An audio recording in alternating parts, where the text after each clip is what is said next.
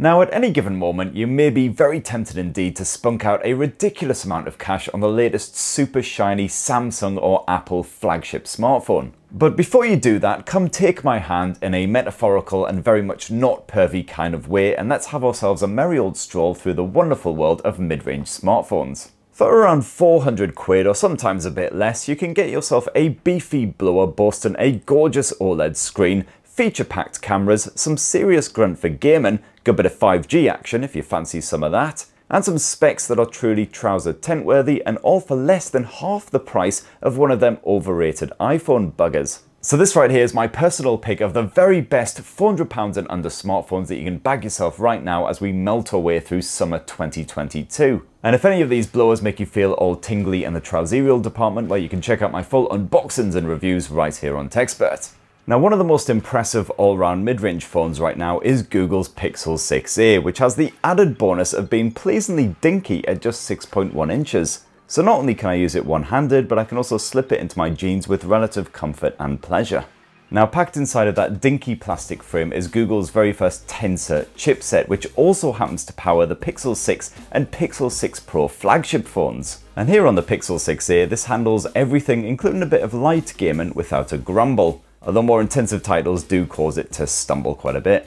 The OLED screen is a stunner, pretty standard for a mid-range mobile, although you don't get the nippy 90Hz refresh of many rivals. And like most phones at this price point, there's bugger all headphone jack, so it is Bluetooth all the way, baby. You got pretty much the same camera tech as last year's Pixel 5a, but thanks to that Tensor chipset's clever clogs image processor and Google's usual software smarts, you can capture great looking photos at any time of day and even at night.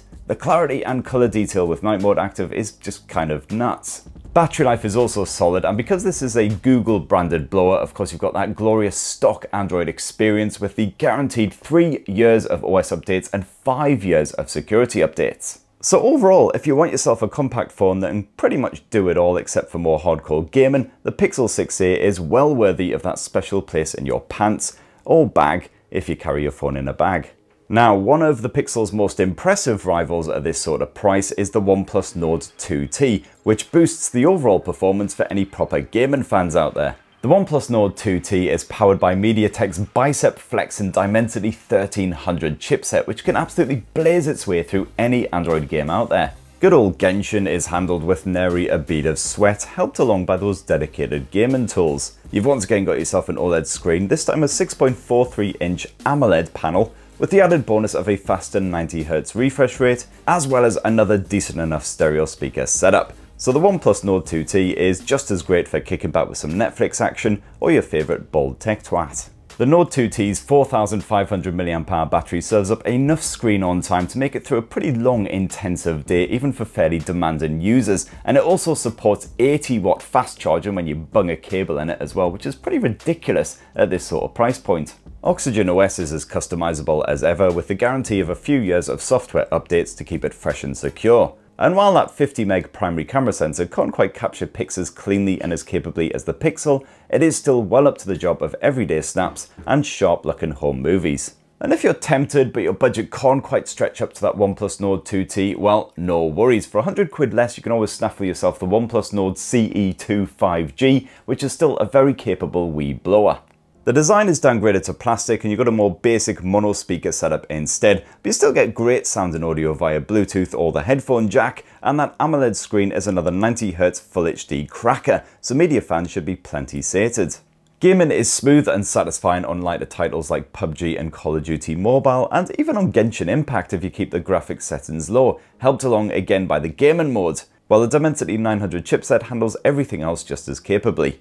And sure, the 64 meg primary camera is fairly basic, but it's still fine as long as the lighting isn't CAC. Now certainly one of the more distinctive smartphones you'll find at this price range is the Nothing Phone 1, which starts from 399 quid and offers some decent specs to again rival that Google Pixel 6a. Forget the flashy lights on the back end because chances are after piddling about with them for your first day or two, you'll basically forget they even exist. To me, that glyph lighting is just like an attention-seeking child absolutely off its tits on Haribo. But get past all that attention-seeking bollocks and you'll find you've got yourself a very capable mid-range mobile. After several updates, the various bugs and the less than impressive battery life have mostly thankfully been sorted right out. And not only can you now just about generally squeak through a full day of use on just a single charge, but you've also got support on the Nothing Phone 1 for wireless charging, which is an incredibly rare feature at this sort of price. That OLED screen is a delight like most rivals, the stereo speaker setup is decent, and this blower is nippy enough to play any game out there, Genshin Impact included. Plus, if you want an Android that looks like an iPhone for whatever friggin' reason, this is probably about the closest you'll come with its chunky flat-edged frame. Nothing's camera setup is gloriously streamlined, so you won't find any pointless macro nonsense or any of that other bollocks here, and it's good enough to grab good looking pics and home movies, even in reasonably testing conditions. It's only really in proper low light where that camera stumbles a bit and the Pixel 6a starts to show its dominance, but apart from that, it's hard to really nitpick much about the Nothing phone beyond the usual complaints like the lack of a headphone jack, the lack of micro SD memory card support, yada yada. And if you're all about performance, you should also be well tempted by the brilliant Poco F4, which is only a minor evolution over the older F3, but still proper boss. This uses Xiaomi's MIUI launcher in a slightly pocified form, and this sports a more of a stock Android vibe these days compared with back in the past, except with tons of extra bonus bits lathered on top. Stuff like the dedicated gaming tools, and if you are a gamer, well, that Snapdragon 870 chipset is a blinder, offering impressive grunt for any kind of gaming. You can even run the mighty memory guzzling Genshin Impact on high detail settings with next to no judders, helped along by Poco's dedicated coolant tech. Battery life is pretty bloody great. You've also got 5G support on top of Wi-Fi 6, so connectivity, no worries whatsoever.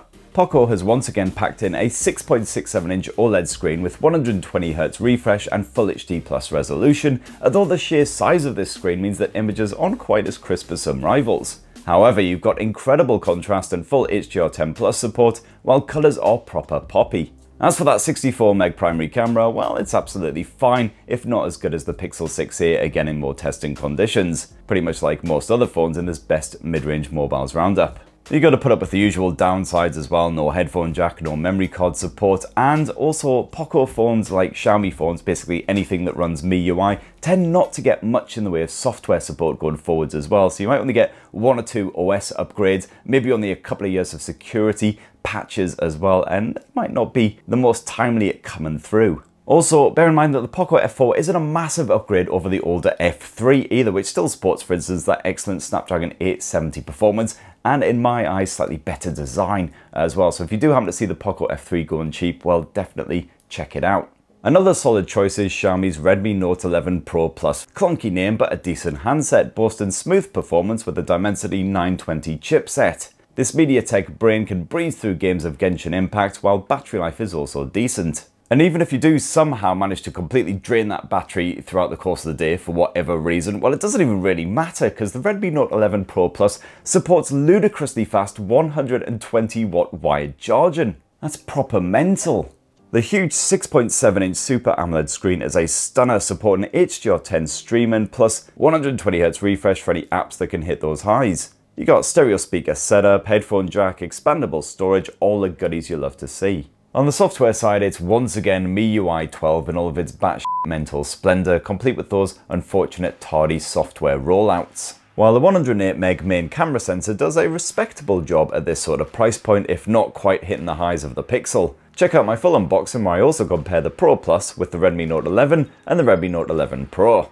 So many Xiaomi smartphones, it's, it's, it's a wee bit confusing at times. And I also recently had the chance to check out the fresh Xiaomi 12 Lite, which again doesn't serve up the best camera tech in this comparison, but is a solid all-round blower in pretty much every other respect.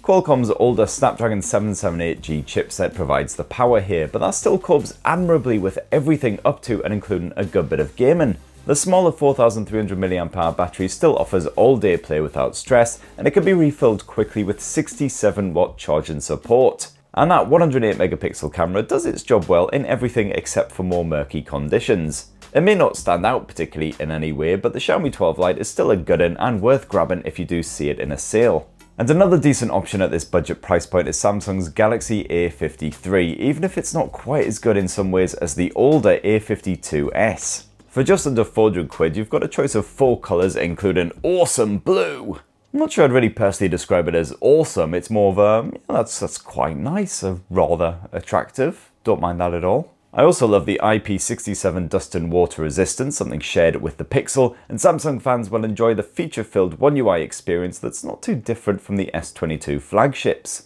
And Samsung has also promised A53 fans several years of security and OS updates, similar to the Nothing phone, the Pixels, the OnePluses, etc. Now 6.5 inch 120Hz Super AMOLED screen is a cracker, chucking out sharp Full HD Plus images complete with Samsung's trademark colours that positively pop. Although you can opt for more natural output in the display settings. It's definitely a good one for your Netflix and Disney Plus and despite the lack of HDR streaming support. And core blimey, lo and behold, the Samsung Galaxy A53 also supports micro SD memory cards to expand the storage, something you'll barely ever find at this sort of price point anymore. Although unfortunately, while the older A52s also had a headphone jack, that has been culled here for the fresher A53. Boo, hiss, etc.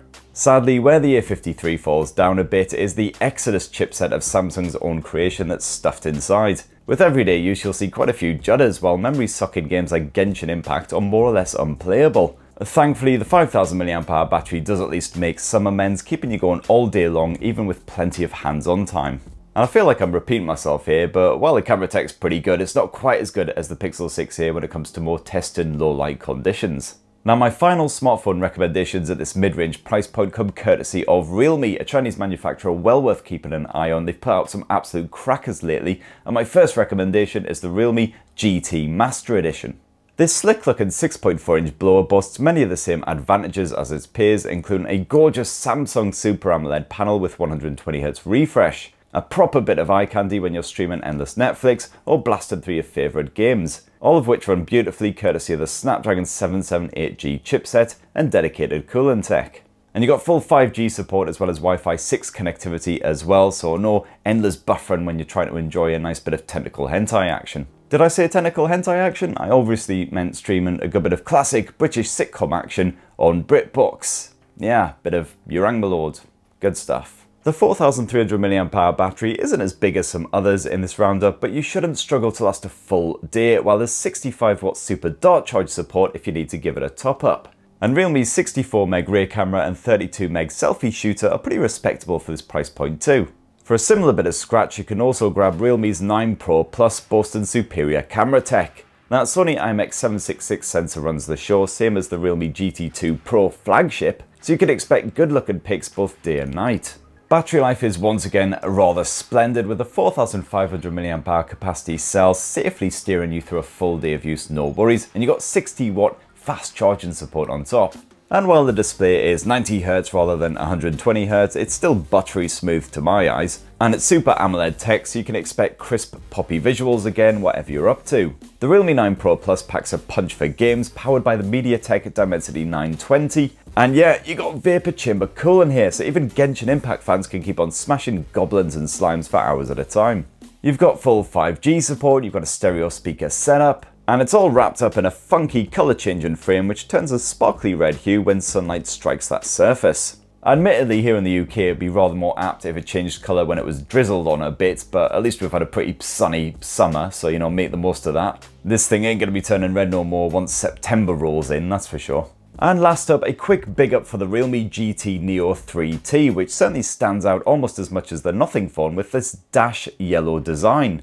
You'll either love it or think it looks like a pile of puke, but either way you're getting a gorgeous 120Hz AMOLED screen, strong audio support, a mighty 5000 mAh battery with 80W charging, and that same Snapdragon 870 performance as the Poco F4. Ah, that is my roundup of the best £400 and under mid-range smartphones you can grab yourself right now in summer 2022. Quite a substantial list there, and I haven't even had a chance to go hands-on with absolutely everything. So for instance, the Oppo Find X5 Lite, unfortunately I haven't even touched yet, and it looks like a really nice, slightly streamlined version of the Oppo Find X5 and Find X5 Pro flagships. There are also a couple of phones that I've reviewed that didn't quite make the cut for this list as well, like the Moto Edge 30, which is a very enjoyable little handset, but unfortunately a little bit too buggy and quirky at the time I tested it out. So hopefully a couple of updates time, all of those little bugs and issues will be sorted and it will definitely get a recommendation. And if you find your budget is too tight for any of these smartphones, no worries, your Uncle Spurt has got you covered. I've also rounded up the best £300 and under smartphones and the best £200 and under smartphones you can grab yourself right now in summer 2022. So go check out those videos. Please do poke, subscribe, and ding that notifications bell for more on the latest and greatest tech. And have yourselves a really wonderful rest of the week. Cheers, everyone. Love you.